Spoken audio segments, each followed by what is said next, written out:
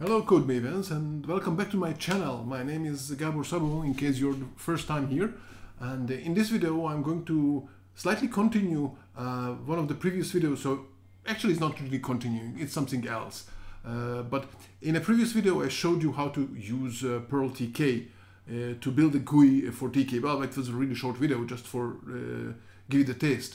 And then I was thinking what kind of project could I build? uh, using uh, Perl TK that can be useful and that can show you a couple of uh, things. And, and here in this video, I'm going to introduce you one of the projects that I'm starting to build or I'm thinking about building and I would love to get your feedback whether to see whether it's a good idea uh, to build it. So probably you're familiar with uh, the Perl uh, tidy module, which is both a, a, command line tool and is also a module in, in Perl that allows you to uh, after you know, uh, thoughtful configuration allows you to to tidy up to to tidy up your code basically to reformat your code to make it nicer to make it uh, uh, according to some standard that you can define.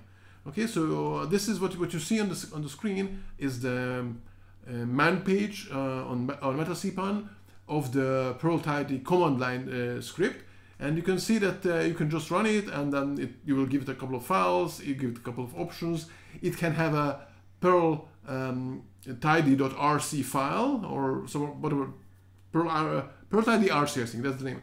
Um, and then in that file you can give the, uh, the options. And what I'm thinking now is to build a, a GUI uh, using PerlTK uh, for now that allows you to play with the various configuration option, options and see how these uh, change your file. So you can uh, decide what uh, feels better for you when you're trying to configure it. So first of all, this is the, the, the command line uh, tool that we have. And then if we scroll down, if I manage to scroll down here, yeah, here you can have all these uh, flags somewhere down there. These are all just generic flags. Here the formatting options. So there are tons of these formatting options uh, whether to use white spaces or tabs or or I, I don't know how wide the, lines should be and where the curly braces should be in, in your code. So all these uh, program, uh, all these flags that I usually have no idea what to do. So I, I just have something that I, I got from someone at, at one place and I'm just still using it.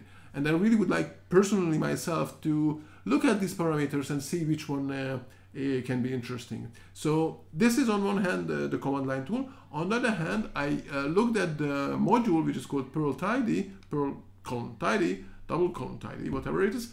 Um, how could you how could I use it without uh, running an external code? Because if I'm already using Perl TK, then uh, I wouldn't want probably to run an external program, uh, even if it's another Perl program. I would prefer probably to have a, a module in, inside. So what I have found is that uh, the module can be used in a really, really, well, strange, interesting, whatever way.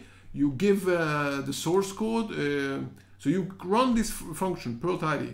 You give your source code to it, you give the destination, uh, you give a place where to put out all the errors, uh, the command line parameters, where the Perl tidy RC file is, and uh, and so on, all kind of other things. I, I, don't even know the rest.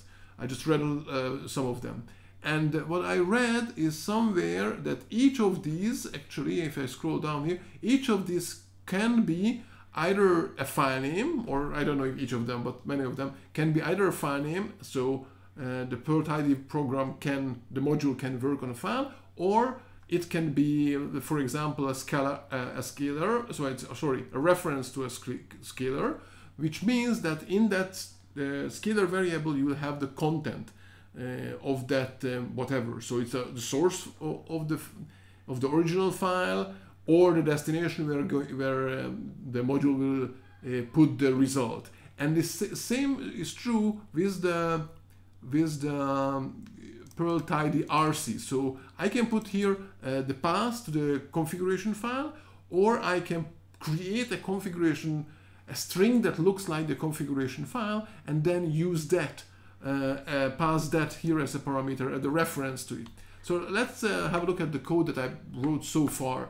It's not um, very fancy, very interesting. Uh, I think that's the, the name of the code. Actually, I have here in this directory, I have a separate script. It's just a script uh, with some code uh, on purpose, trying to create all kind of interesting uh, syntaxes that are just uh, there. Maybe I should actually put here some more. So maybe I put even more here. So this is like a, a, standard piece of code I encounter in all kind of companies where where uh, whatever, just random tabs and spaces all over the place.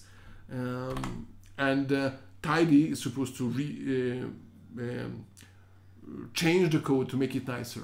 So this is the source code that I built so far. It's just a command line, but I wanted to play play with the Perl tidy module to see how uh, I use it.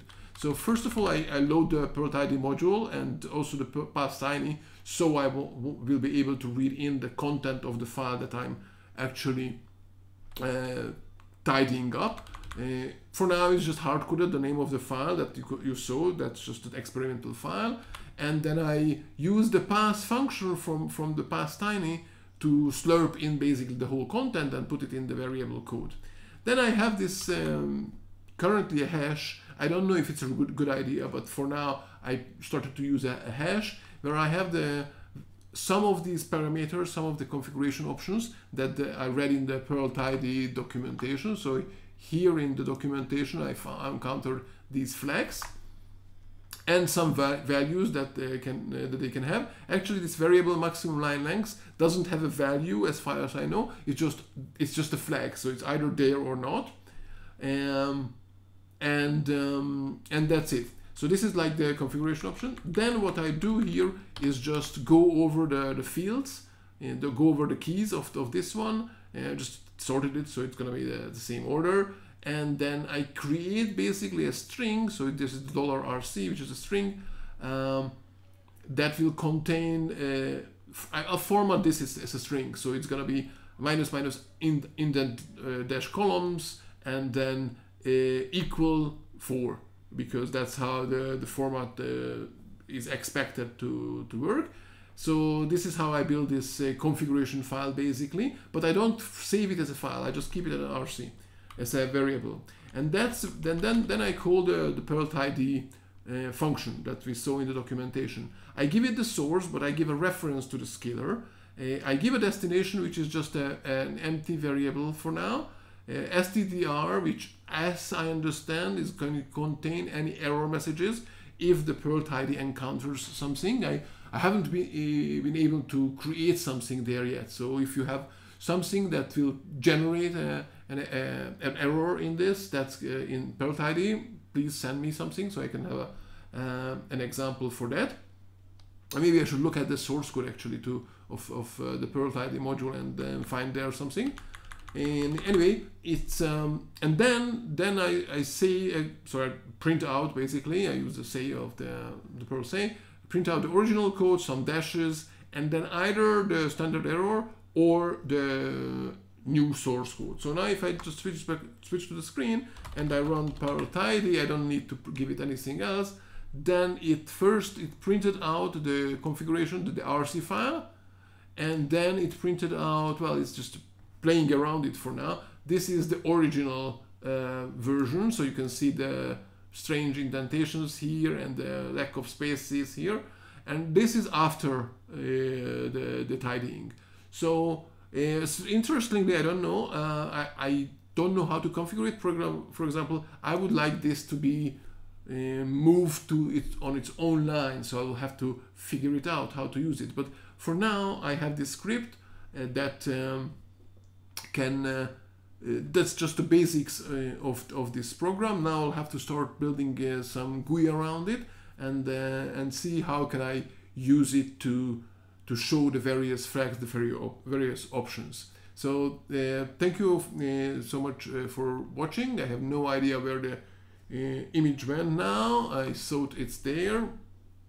anyway, I hope that the recording went and See you in the next video. In the meantime, if you like this and you'd like to follow it, then please follow the YouTube channel. And also there is the Patreon, Patreon account where you can support uh, my work and uh, the, in this project and in general in the videos. So thank you. Bye bye for now.